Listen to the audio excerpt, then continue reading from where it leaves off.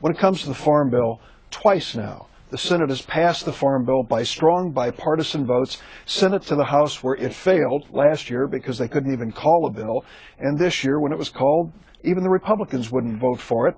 Now they've stripped out food stamps. I listened to the explanation from Congressman Kelly. He wonders why so many people are receiving assistance, SNAP and food stamps. It's because their wages and incomes are so low.